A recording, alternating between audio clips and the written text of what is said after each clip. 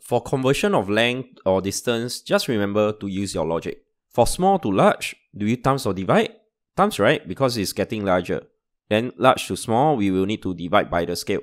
For A is map to actual. Map is smaller than actual, so it is small to large, which means we take 6 times 5, which will give us 30 km.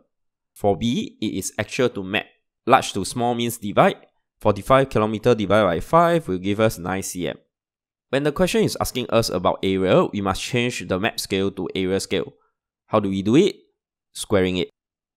When we square 1 cm, it will be 1 cm square. 5 km will become 25 km square. The rest is the same. For C, map to actual means times. 4 times 25 will give us 100 km square.